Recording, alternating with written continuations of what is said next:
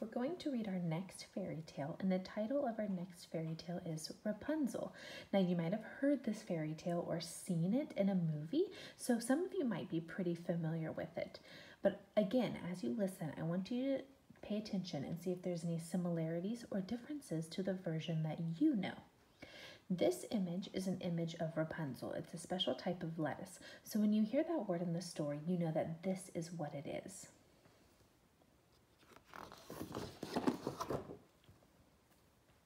There once lived a man and his wife who more than anything in the world wished to have a baby. Finally, one day, they learned that their wish would come true. Now, at the top of their house, in the very back, there was a little window, and from this window you could see a garden full of beautiful flowers and fresh vegetables.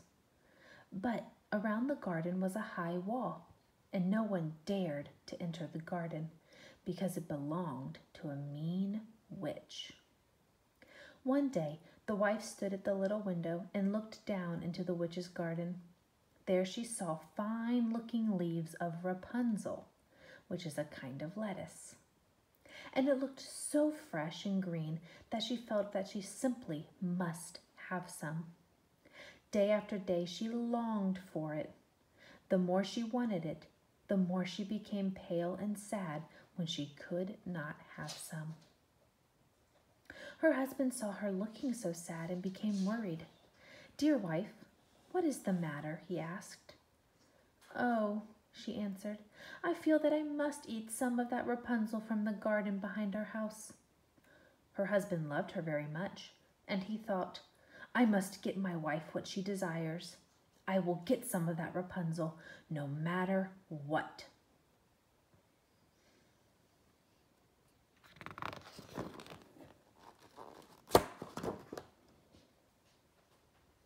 That night, he climbed over the wall into the witch's garden.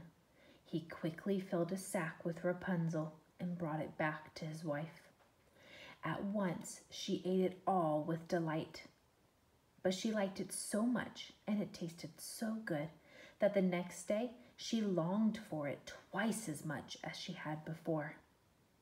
Now let's stop right there for a minute. To long for something means you want it very badly. But she liked it so much and it tasted so good that the next day she longed for it twice as much as she had before. So that night, the husband climbed the wall again and picked more Rapunzel. He turned around to go back when he saw before him the angry eyes of the witch.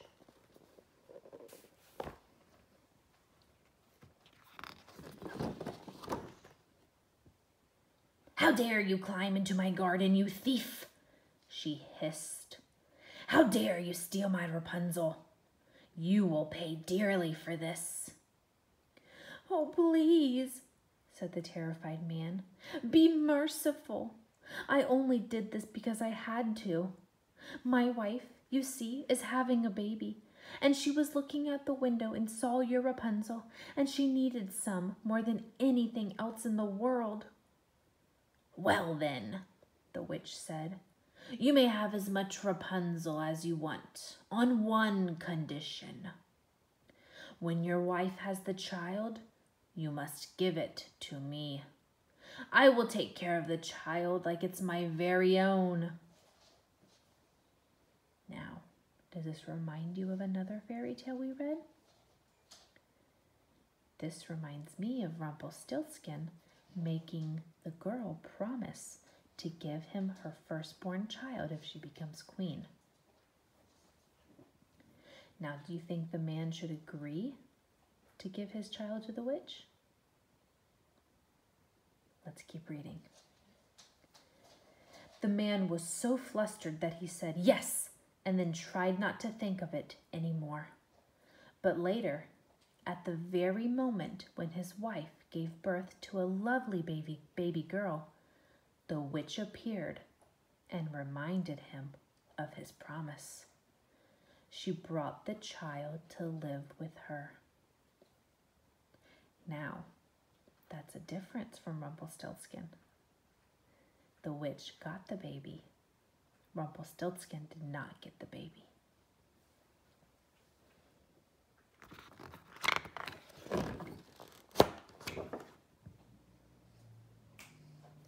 The witch named the baby Rapunzel. Now, why do you think she did that? The witch named the baby Rapunzel, and she grew up to be a beautiful girl. When Rapunzel was 12 years old, the witch took her deep into the forest. There she locked her in a tower with no steps and no door, only a small window near the top. Whenever the witch wanted to be let into the tower, she would cry from the ground below, Rapunzel, Rapunzel, let down your hair.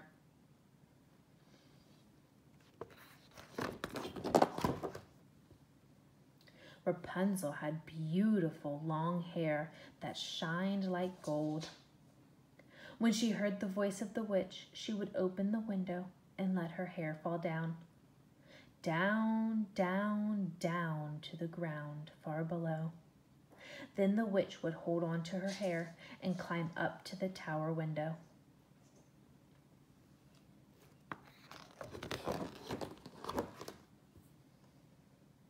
A few years had passed when one day a king's son was riding through the forest and he came upon the tower.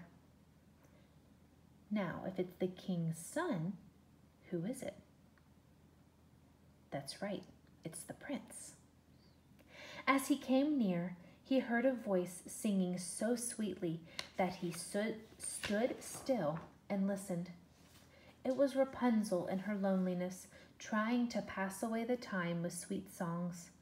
The prince wanted to go inside to see her, so he looked for a door in the tower, but there was none. He rode home, but the song that he heard had entered into his heart, and every day he went into the forest and listened to it.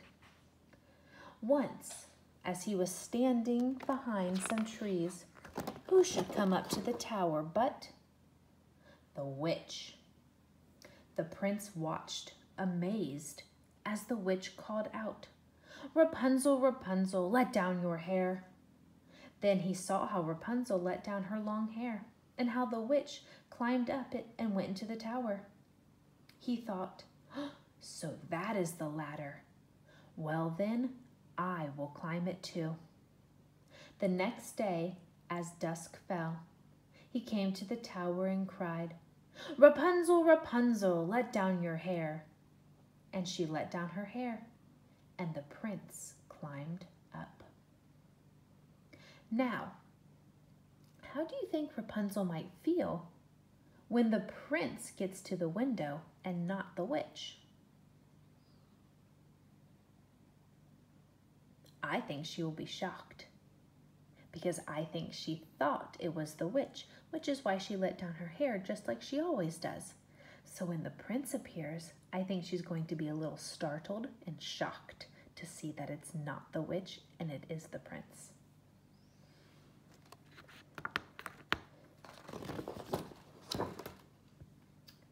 Rapunzel was greatly frightened when she saw the prince, for she had never seen a man before. So, she was actually frightened because she had never seen a man. Now, how come she had never seen a man before? That's right, because she lived with the witch. And when she turned 12 years old, the witch put her in a tower. She had never seen a man before. But he spoke kindly to her and told how her singing had entered his heart and how he felt he could have no peace until he had seen her.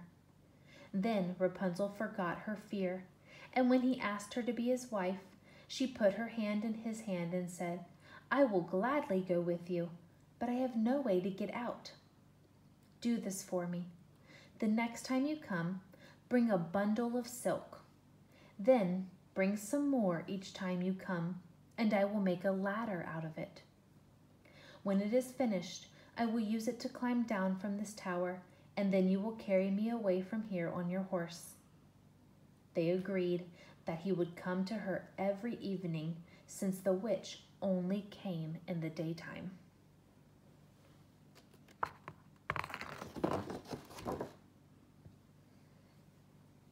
So things went on this way until one day Rapunzel, without thinking, said to the witch, why do you climb up so slowly, while it takes the king's son only a moment to climb up? Uh-oh, what has she done? That's right, she's told the witch that the king's son has been coming. Oh, you wicked child, screamed the witch. I thought I had you hidden here from all the world, but you have betrayed me. In a rage, the witch grabbed a pair of sharp scissors and cut off poor Rapunzel's hair. Then the witch took Rapunzel from the tower and brought her to live deep in the forest.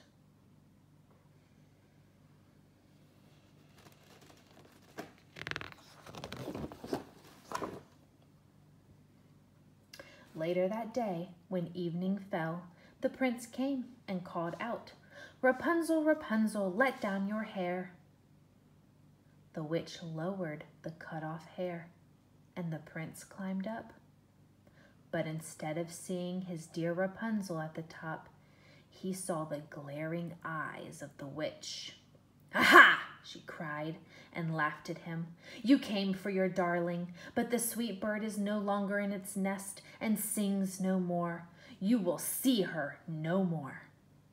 Filled with horror and sadness, the prince fell from the tower. The fall did not hurt him badly, but the thorns on which he fell cut his eyes and blinded him.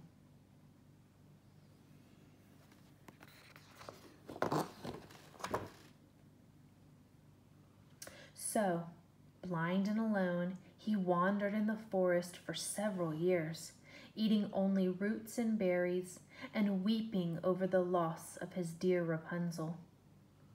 At last, he came to a place in the forest where Rapunzel herself was wandering. He heard a sweet voice that he thought sounded familiar. When he went toward the sound, Rapunzel saw him, wrapped her arms around his neck, and wept. Wept means she started crying. When Rapunzel's tears touched the prince's eyes, he could see again. He was both happy and amazed because he thought he would never see her again.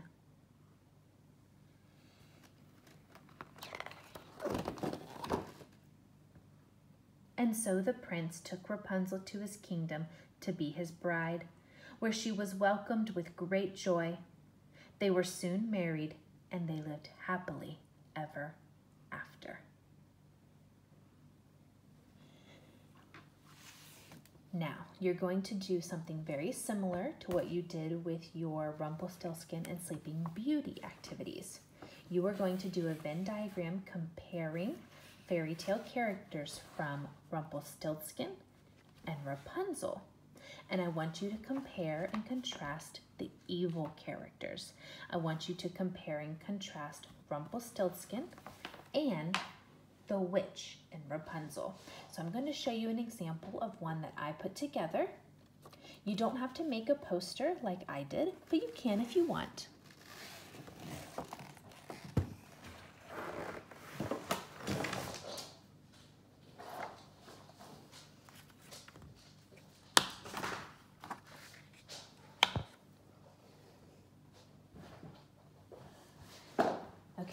have my Venn diagram just like I have for my Rumpelstiltskin and Sleeping Beauty activities. So in the middle, you'll talk about how they are similar, and on the sides, you'll talk about how those characters are different. Now, I will also attach some pictures. If you would like to make a poster with your Venn diagram like I did, you may. If you want to just complete the Venn diagram, that's fine too. Remember, focus on the characters in the fairy tale, not the entire fairy tale story. Good luck, guys. I can't wait to see what you do.